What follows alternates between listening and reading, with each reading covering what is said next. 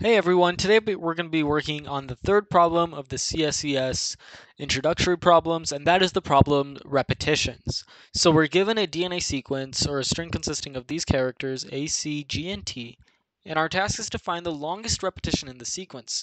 So this is a maximum length substring. So let's see, we are given a upper bound of 10 to the 6th, and what we want to do is we want to go through this list or this string of characters and find the longest length.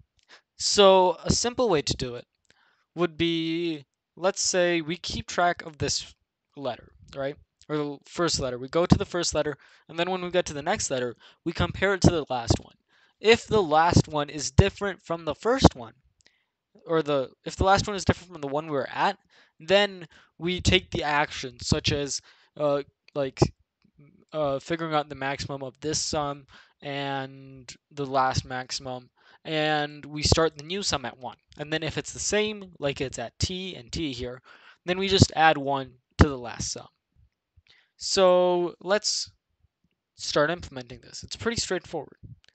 So we're going to create a new directory and call it 3 dot repetitions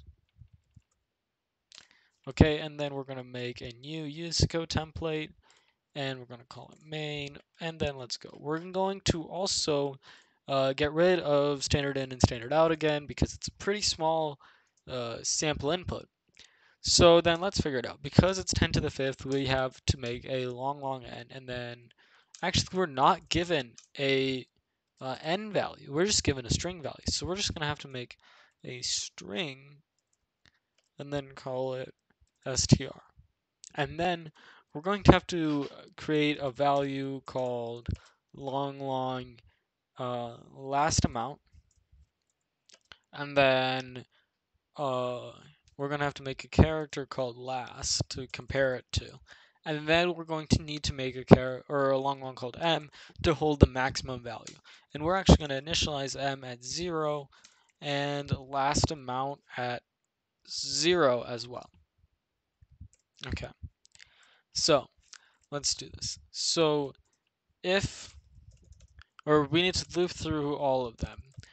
So we're going to have a long, long index, and then if we go through it, go doing str.size, and actually if we look up, we haven't actually gotten str yet.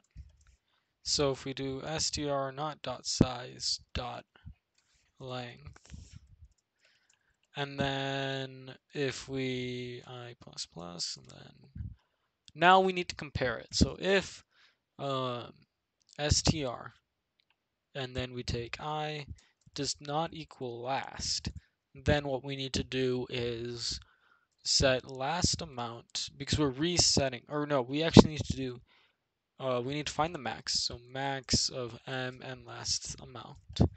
And then also what we need to do is we need to take, um, let's see, we need to uh, last amount equal 1. And then, if it's the same,